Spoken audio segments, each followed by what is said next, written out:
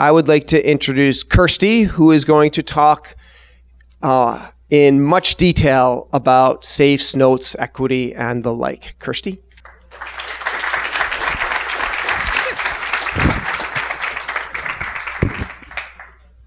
All right, good morning, everybody.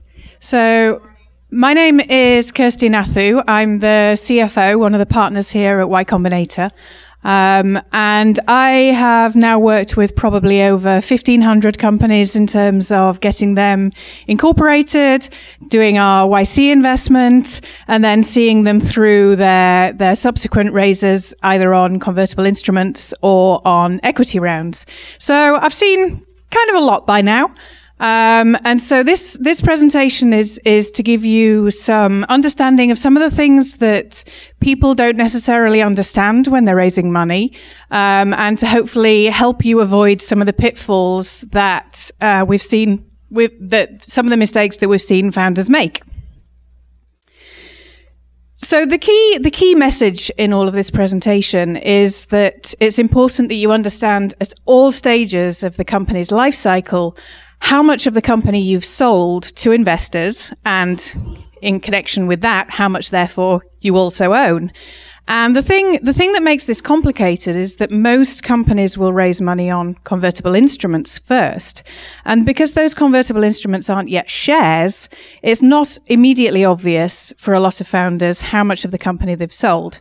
So I'm going to talk through um, some of the mechanics of that and help you understand how how all that works so that you don't get surprised when it's too late and you can't do anything about it.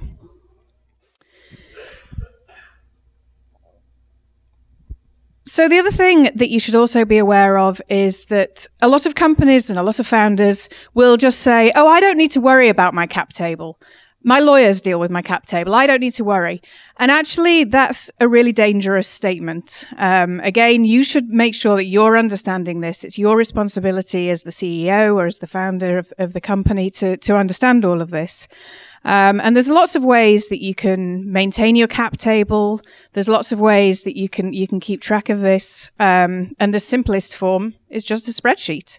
All it's going to show is who owns how many shares, and that's it. That's all you need at the beginning.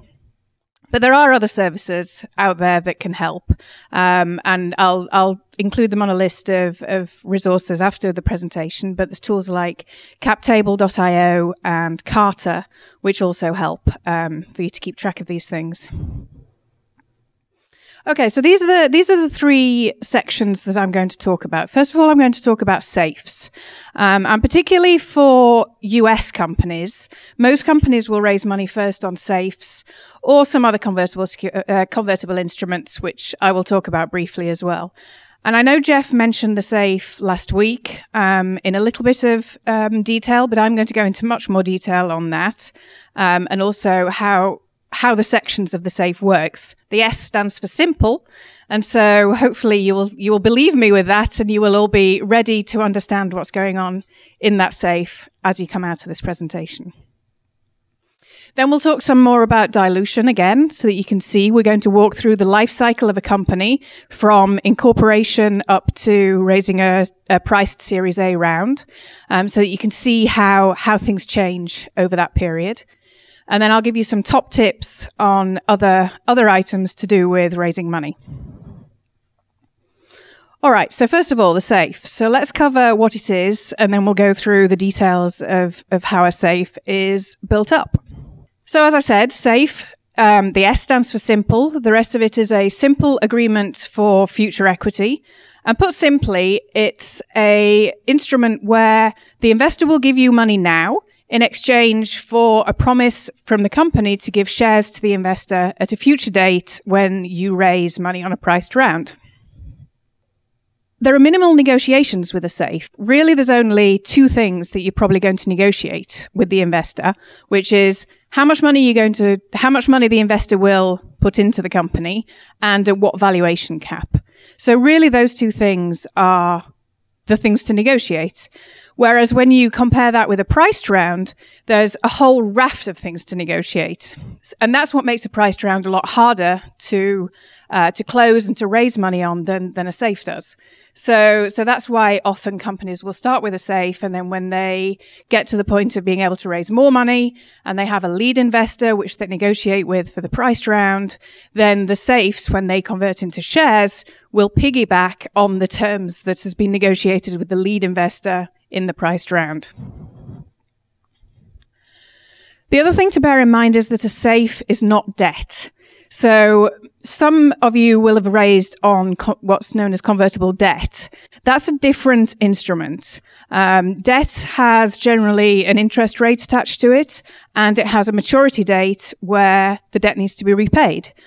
Safes have neither of those things. So it's important to understand that there is a distinction between the two instruments, but in terms of conversion, in, in the way that they convert in a priced round, there are some similarities. So this is the first section in the safe. And this paragraph actually includes pretty much all the key details that you need to understand in a safe. So it talks about, uh, in exchange for payment by investor, you're gonna, the investor's putting in a certain amount of dollars around the date, um, and down here, the valuation cap is some number. So really, those two blanks are the two negotiating points. This paragraph here is something that we've added just recently in our newest version of safes. And this is something that will hopefully help you so that once you've read our safe that we have available on our website once, if there's this paragraph on the safe, then you know that you have read the safe. The idea behind this is that if anything changes in the safe, they can't, you either the company or the investor cannot say this paragraph. It can't say that it's the same as the safe that's on the Y Combinator website. And so you'll know as a founder that you should be looking at it more closely to see what's been changed. So this is just something to keep your eyes open for when you, um, when you, if you receive a safe from an investor. Okay, so the anatomy of the safe is pretty straightforward. It's only five pages in length, so it's not very long. We've tried really hard to keep the language not too legal, um, so that it's, it's easy to understand. And really, it's split into it's split into five sections. Section one talks about what happens in a various um, different sets of events, and so most of the time, what's going to happen is there will be an equity financing at some point in the future. And so the first part of the section talks about what happens then. How does the safe convert?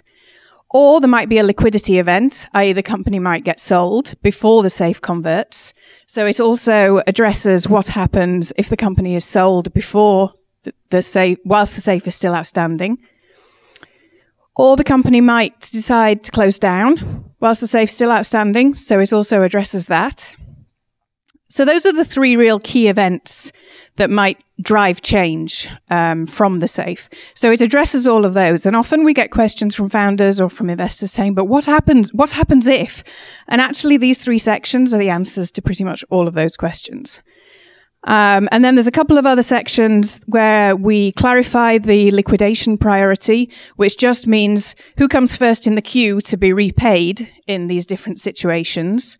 Um, and also clarifying that the safe actually terminates, i.e., it does no longer exist if any of the top three events happen. So that section is kind of your instruction booklet. If something happens in your company, that's the section you look at to see what happens to your safe. Then the next section, section two, is just the definitions section. So anything that we refer to within the safe will be explained in section two. So if you're not sure what the company capitalization um, definition is, you go to section two to look at that for a, for an explanation. Section three are the representations that the company makes to the investor. So it's it's saying things like the company. Um, the company is duly formed. It's it's correctly formed in Delaware. Um, section four is the representations that the investors make to the company. So it's things like the investor saying, "Yes, I agree. I'm um, I'm an accredited investor." Um, and then section five is kind of legal boilerplate language that that needs to be in there. So really, from your point of view, the sections that you really need to understand are sections one and sections two. Obviously, you need to know what you're representing in section three as well, but those section one and section two are the key, key parts. And that bit is only three pages long of the safe. So I'm pretty sure you can all read three pages and understand what's going on. So I encourage you to do that. Okay, some of you may have heard um, in the last couple of weeks we announced a move to a different type of safe. Um, we've really we've introduced the concept of post money safes, and it's important that we understand what post money means. What it basically means is after all the safes have converted, what happens at that point. And we'll go into that in a little bit more detail in a moment, but it's, it's easy to get confused about what post money means here, but it's after all the safes. Um, and the reason why we introduced these is that we, we wanted to make it easier for founders to understand the dilution that they were taking, i.e., how much of the company they'd sold to investors, and so how much less of the company they owned. It was, and it's a lot easier to to understand that with post money safes than with the previous safes that we had, which were known as pre money safes.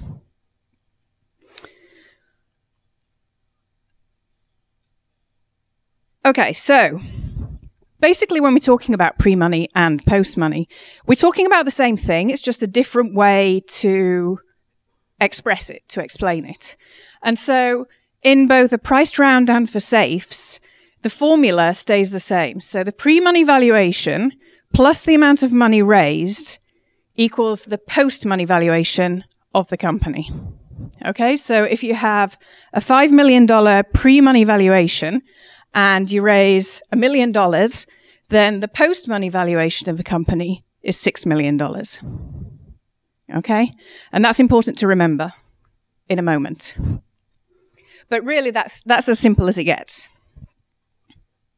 So then, based on that, so that you can understand how much of the company you've sold when you're raising money um, on safes, the formula is just your ownership or the ownership of the investors, the ownership that the, the investors will take is their amount raised divided by the post money, either valuation in the case of a priced round or valuation cap in the case of a safe. So in our example before, if the investors were putting in $1 million and the post money valuation was $6 million, then they will own 16.67% of the company. Does that all make sense to everybody so far? Okay, good. So I'm going to I'm going to talk only about safes with valuation caps here to keep things simple. But just be aware that there are other different flavors of safes that you can use and that you may have already used, um, or that you may find that you you use in future. So there may be the concept of a discount instead of a cap. Um, so instead of capping the valuation at say six million dollars, it says um, there's a there's a twenty percent discount on the Series A price. There's also an uncapped safe, which basically just says, I'm going to put money in now as an investor. And when you do a priced round, I'll get the same price as the priced round investors are going to get. That's pretty uncommon because the investors who are putting in money early want some kind of bonus for putting in the money early. Um, so, so it's pretty unlikely that you'll, you'll use one of those. And then finally, there's a safe that's um, uncapped with a most favored nation clause, which is basically what that says is I'm not going to agree a cap right now but if you raise some money from some other investors who do have a cap and that ter- those terms are better than my terms, I get their terms as well as an investor. So this one can sometimes happen if you're raising money very early on and you don't really know what the cap is and maybe, you know, you just want to punt it for another month or two. Um, but it just creates a little bit more admin for the founders because it's another thing that they have to keep track of. Um, so we, we see them sometimes, again, not all that common. Um, by far, the most common is just the valuation cap only. All right, so now we understand safes and how they're made up. We're going to talk about dilution and understanding how your cap tables work. All right, so we're going to we're going to walk through this process. So we're going to start with our company at incorporation, which uh, Carolyn talked about right at the start of the startup school course, I believe. So hopefully this will not be anything new to you. Then we're going to talk about what happens when you raise on some raise money on safes, on post money safes. Then we're going to talk about what happens as you hire people and start to issue equity to employees.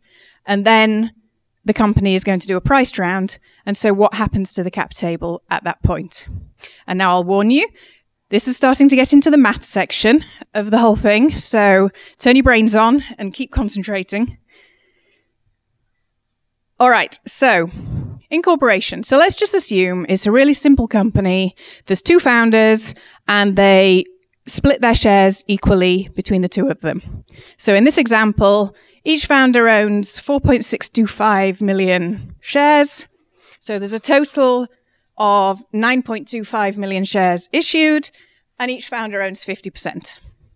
That's pretty straightforward, right? And so at this point, in order, in order for them to own those shares, the founders have done the paperwork, they've granted those shares through a restricted stock purchase agreement, and there's vesting on those shares, as was talked about with, with Carolyn earlier in the, um, earlier in the, the course.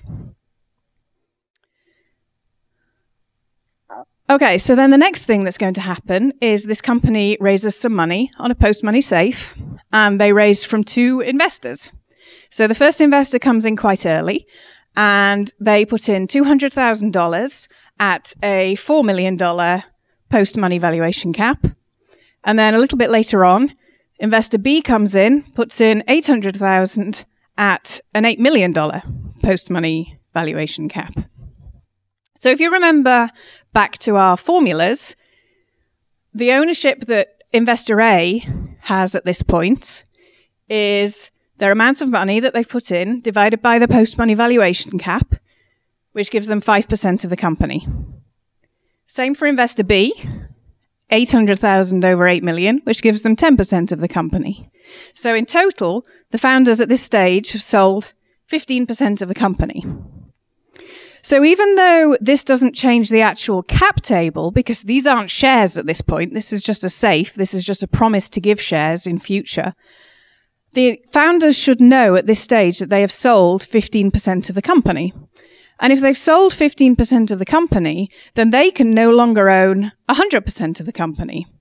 So now instead of the founders owning 100% of the company between them, they've been diluted by the 15%. So they're going down to 85% of the company. So it's important to have that in your brain when you're raising money because whilst the cap table, like I say, doesn't change, the fact that you've just sold 15% of the company is an important fact. And it's an important thing to know because you want to make sure that you're not selling too much of the company because you know that there's a lot of future fundraisings that are going to happen with the company. And therefore, there's going to be more future dilution. Is everyone happy with how we've got to that 15%? Yes, the question. So the founders are the only ones getting diluted at this point. Uh, the earlier investor doesn't get diluted. Right. So the question is, is it's only the founders that are being diluted at the moment, and yes, that's that's exactly right because that's the construct of the post money safes. The the the all the later the later safe investors don't dilute the earlier safe investors. It just dilutes the existing shareholders. And at this stage, it's just the founders who are the existing shareholders. Does it make sense to have shares in the treasury so that uh, they can uh, cover the anticipated dilution? Okay, so the question is, does it make sense to have shares authorized but unissued? I think is what you mean. Um, so at this stage, it doesn't necessarily make a difference, as you'll see in a moment. Um, you actually create new shares that you're going to issue to these these safe holders when they convert. Um, so at this stage, it's it's fine to just have the shares that, that the founders have and maybe some that you want to give out for hiring. Why and B has different uh, post-money valuation cap? Uh, well, in this example, so the question is, why do they have different post-money valuation caps? And so in this example, um, you know, it could, it could be for very any number of reasons. But in this example, we're assuming that, you know, this, this one happened maybe a month after incorporation and maybe this one happened six months after incorporation and more has, more has gone on in the company. And so there's slightly less risk. And so the company's been able to negotiate a different cap. But things, things change through the company and it's, it's totally fine to have different caps because as you can see from here, you just, you just calculate everything separately and then add it all together. Okay. So companies raised a million dollars First thing it's probably going to do with that money is hire some people. And when you hire employees, you're probably going to give them some equity. Um, and so in this example, the company creates at this stage a option pool, otherwise known as an ESOP or an employee incentive plan. There's lots of different names for it. Um, and in this example, they have created a plan or a pool that has 750,000 shares in it, and they've issued out of there 650,000 shares to early employees. So this has now changed their cap table because they've issued shares. And so the fact that, that there's there's more shares um, being being issued means that the cap table changes because we now have more shareholders. And so now we have a total of 10 million shares that have been um, fully diluted basically means the combination of issued and um, set aside in the option pool in this case. So now we have our founders, instead of owning 100%, have 92.5% of the company. And the option plan in total is 7.5% of the company. But remember those safes. So these founders don't actually have 92.5% because they have also sold 15% of the company. And so actually, they own less than the 92.5%. Um, they've actually, they actually own 85% of that, which is about 78.6%. So again, this is where it gets dangerous for the founders. If they forget about the safes, the founders are sitting there saying, well, I own 92.5%. This is great. I own still loads of the company. And they have forgotten about the safes and the dilution they're about to take from that. So again, it's really important to keep track of how much you've sold on your safes so that you can do that calculation and say, actually, I don't have 92.5%. I have 85% of that because I've sold 15% of the company.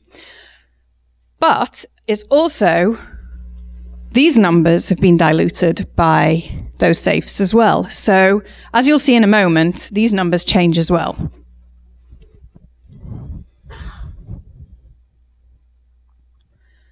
Okay, so now we're going to fast forward about a, let's say a year. Um, the company is doing well. It's raised a price round and it has a term sheet for the priced round, which says that the pre-money valuation of the round is $15 million. And they're going to raise a total of $5 million, of which the lead investor, which is the investor that they do all of the negotiations with, is going to invest $4 million. And so if you remember from our formula at the start, the post-money valuation is the pre-money valuation plus the total raise. So the post money valuation is 20 million. The other thing that gets negotiated as part of the priced round is the option pool increase. So generally what happens is that the investors in the series A will say, okay, we're going to put some money in. We know that this money is going to go towards hiring. So we want you to create an option pool for all the new employees that you're going to employ and give equity to in advance so that it's sitting there ready for those employees. And so usually you see that the um, the option pool is about 10%. It might go up to about 15%, but anything more than that is is fairly non-standard. Yes, where did that come from? Oh, over there. Okay, yes. So you so the question is, is the 10% coming from founders or collectively? And you'll see in a moment is going to dilute the existing shareholders and the safe holders, but it doesn't dilute the new money. So how is the, how is the option pool represented on the cap table? Is it represented on the cap table or what form does it take? So the question is, how is the option pool represented on the cap table? So if we go back to here, we just show it so that we have the options available from the pool that haven't been issued is a line, and anything that has been issued from the pool is a separate line. The reason why we show those two things separately is that these these shares are considered outstanding, they're considered issued, whereas these aren't. And so that's the difference between what th- that's what fully diluted means. It means outstanding shares, which are these two lines, plus any shares reserved under the option pool.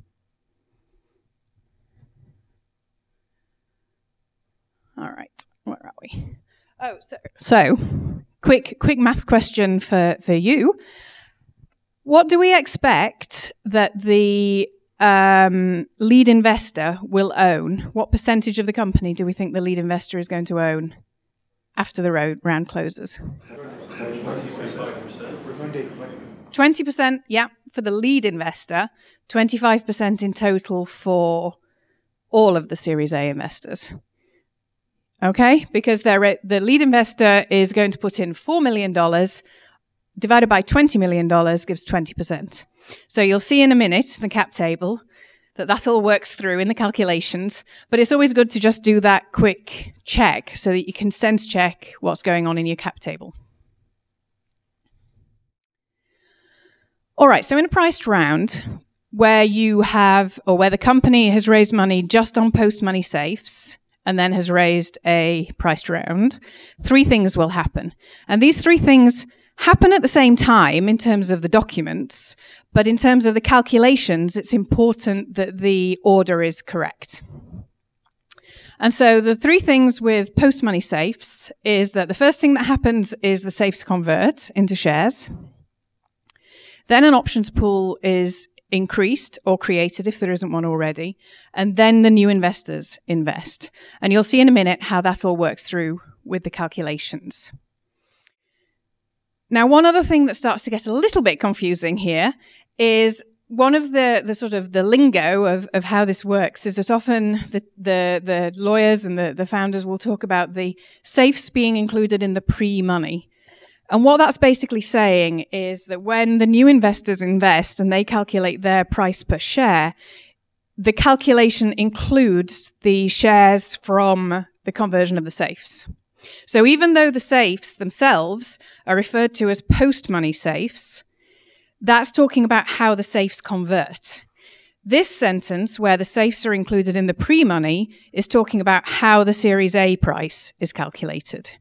So it gets a little bit confusing because it's talking about post money and pre money, but that's just something to bear in mind when when this happens. And obviously, at the time that you're raising a priced round, you're going to have a lot of advisors. You're going to be working with lawyers who can explain all of this to you as well. All right, let's go through these three steps then. So, the first step is our safes are going to convert. And we already know, because we've already done the calculation, that these safes are going to convert into 15% of the company.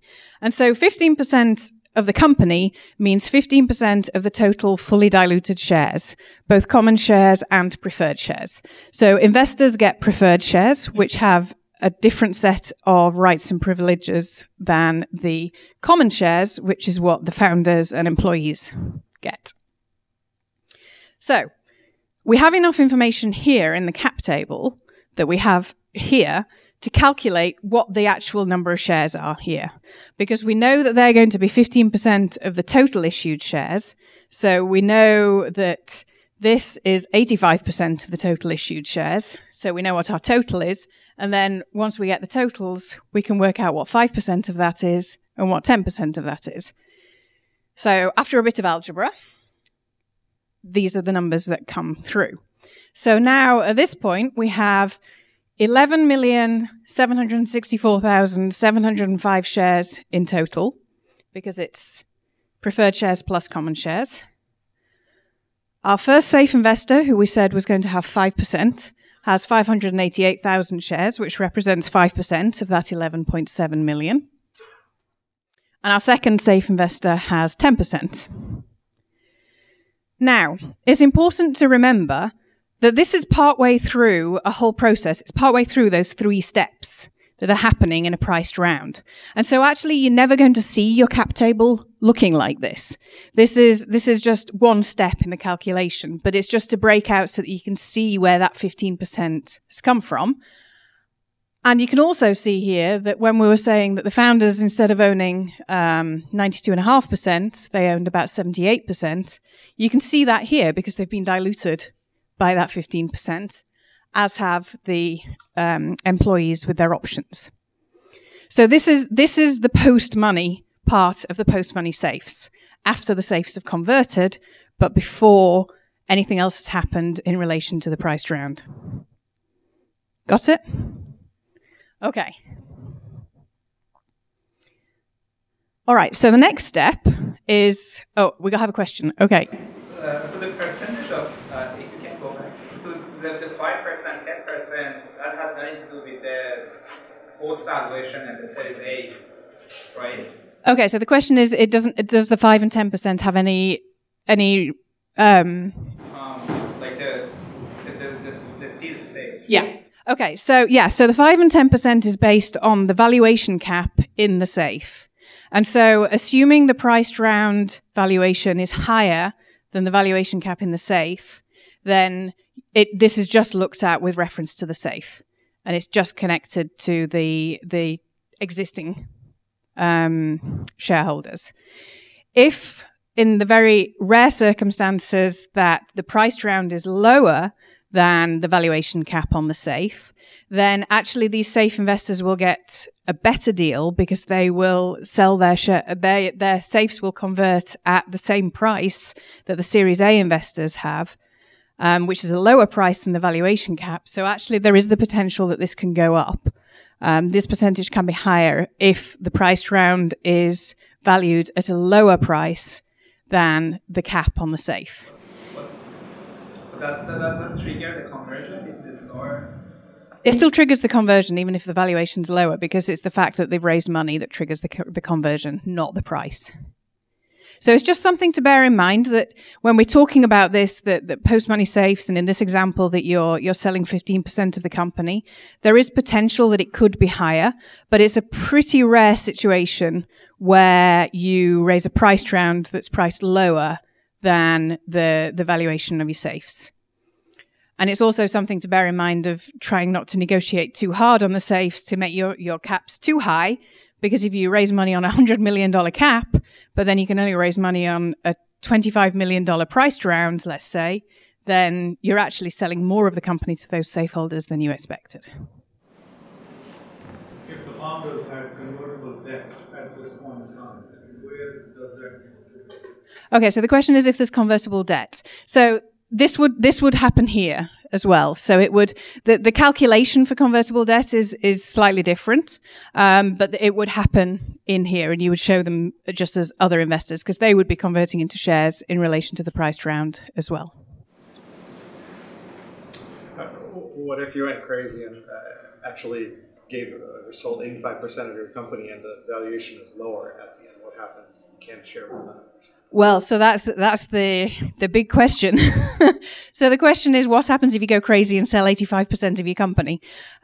That yeah, I mean that's that's the problem. Um, that that founders can can raise too much money on too low valuation caps when they're raising on convertible instruments.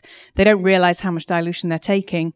And then they get to their price round and they look at their cap table and they're just like, what? I only own, you know, 10% of the company now. And unfortunately, there's not a huge amount you can do at that point because you've already entered into the contracts with the investors to to do this. And so that's why it's important to not get into that situation in the first place. Uh, you, you made a comment earlier that uh, the safes are priced, or the cap is higher than the price round, then you would lose actually a lot more. Can you explain that? Because I thought the uh, safe to the, the to the price of the cap was actually the cap, right? If it was priced at lower than that, it would still would at the lower price amount, right? So, so yeah. So the question is how to how the cap works in terms of in relation to the priced rounds. So if the if the priced round is higher than the cap, then the safe converts at the cap, which means that the safe holders basically get more shares for the same amount of money than the Series A investors get. So that's in that situation, that's how you know what percentage you're selling. But in the situation where the cap is higher than the priced round, then you would never it, it wouldn't be fair to the safe holders to have them getting a worse deal than the Series A investors because they put money in earlier. And so what happens then is that you the the calculation, if you remember if you go back to the section 1 of the safe where it says what happens in a price equity round situation, it says if the if the cap is um, if the cap is higher than the priced round, then they just use the priced round price to calculate their shares. And so because that priced round price is different, these numbers will go up. So you don't lose much, right? The, you know, the, uh, the founders don't lose much. Well, it depends. It depends on the delta. So if it's if it's only a little bit different, then yeah, maybe instead of fifteen percent, they've sold sixteen percent, let's say. But if it's if the delta's really big, then it could go up. But again, it's it's something to be aware of. It's in the current environment, it's pretty unlikely that um, people raise priced rounds at lower valuations than their safes. Just because when you're raising money on safes, the investors won't agree to invest at a ridiculously high valuation because they want they want to get that bonus of the lower price when their sh- when their safes convert. Yeah. Okay, let's keep going. All right, so this this step you're going to have to trust me on. Um, so the next step in the in the section is that the option pool is increased. And this is actually quite a complicated calculation. It, it, gets a little bit circular. And I'm going to be sharing a model with everybody so that you can see how this works if you're interested. But basically what you're trying to do is to get to 10% of um, the post-money shares are sitting available in the option pool. And in this example, we're going to increase our option pool by 1.695 million. And you'll see in a minute that that flows through into the cap table and you'll see that 10%. But just trust me on this one because this is, this is quite a complicated calculation. And then step three, the new money invests. So this is where we have our Series A investors putting in $5 million. And there's a couple of calculations that happen in there. Um, so the price per share that's calculated for the round is the valuation um, divided by the capitali- capitalization. So this is the pre-money valuation, 15 million. And when we're talking about capitalization here, what we are, are meaning is that it's the total fully diluted shares after the safe conversion and the option pool increase. So that's why this is step three, because our, our safes have converted and our option pool has increased. And so we have our 10 million shares that we'd issued, 9.25 to the founders, 725,000 in the options pool, um, plus the safe conversion shares, plus the increase in the options pool. And you'll see the numbers in a moment. So then the number of shares that the Series A investors get is the amount they're investing divided by their price per share. So those are the three calculations that you need to remember for your Series A. So here we go. Here's, here, here are those calculations. So we're saying that the capitalization, we have our 10 million shares that were already issued. We have our 1.76 million shares from the conversion of the safes. And we have our increase to the option pool of 1.695 million. So that gives us 13.5 million total shares. We divide our $15 million by those shares to get a new money price. So this is the price that the investors will pay for their shares of $1.114. So that means that the $5 million of new money that's coming in will buy 4.48 million shares. And the lead investor, because they're putting in 4 million, will get 3.59 million of those shares. So these are the calculations that get that get worked through. This is what the cap table then looks like post money. So this is now everything's been done in the round. So we've still got our founders, we've still got our options Those numbers haven't changed. This number's changed because it's increased by 1.695 million. And you can see here that now this is 10% of the total shares, which is what we were targeting because that was agreed in the term sheet. We have our safe investors who the number of shares haven't changed because they already, we'd already done their calculation for the conversion, but their percentages have changed. It's gone down a little bit. And the reason why those have gone down is because the safe investors have been diluted by the Series A money and by the increase in the options pool.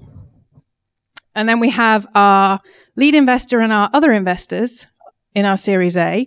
And as you remember, when we did the, the quick back of envelope calculation at the point of getting the term sheet, our lead investor owns 20%. Our other investors own 5%. So in total, they have 25%. And so the founders up here now own 51.5%, which is a big jump from the cap table that they originally were looking at, where they owned uh, 92.5%. And that's where this gets complicated. If you don't understand your dilution, you don't understand how much of the company that you've sold, when you get to this point and you look at the cap table and you're saying, oh no, I only own 30% of the company. How did that happen? There isn't a lot you can do because most of that dilution has already happened because you've raised money from the safes, the, the, because you've raised money on safes. And so that's why it's super important that you keep track of this dilution because at this point there isn't a lot you can do about it. All right. Moving on. So, a couple of couple of top tips for you. We've mentioned briefly about convertible notes, and that's just another instrument that you can use to raise money in the early days. Um, often we find companies outside of the US will raise money on convertible debt. There's nothing wrong with it. Um, it is a little bit more complex just because you have to deal with interest that accrues on it and maturity dates, but companies companies deal with that. But what I would say is try not to have a combination of safes and convertible notes, just because it makes things a little bit more complicated in the calculations. Um, so if you start raising on debt, then probably stick with it, but ideally start with safes because it's actually making your lives a little bit easier. So again, we're now um, recommending that companies use post-money safes, but there are pre-money safes available, and some of you may have already raised on pre-money safes. That's totally fine. Um, it just makes it a little bit more complicated to understand dilution. Uh, but you can still do the same back of envelope calculation to get a, a ballpark figure, even though it's not exactly accurate. Um, if you have raised money on pre-money safes, then it's fine to to in future raise money on post money safes. The calculations just get a little bit complex, but it's it's totally doable, so that's fine. Don't panic. Um, would suggest that you probably move on to post money safes, um, even if you've raised money on pre money safes, just so that you can keep track of your future dilution. And a quick word on optimization in all of this when you're raising money on safes, don't try to over optimize for the cap. It gets really easy to start seeing this as a as a um, a competition, and you start talking to your friends and you start saying, "Well, I've raised money on a six million dollar cap," and they say, "Well, I've got an eight million dollar cap, and so I'm more successful than you are." And you know, as Jeff mentioned last week, fundraising is not the be all and end all; it's a means to an end.